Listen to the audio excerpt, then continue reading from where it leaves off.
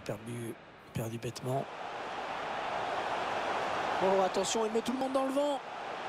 Un ballon piqué, parfaitement dosé.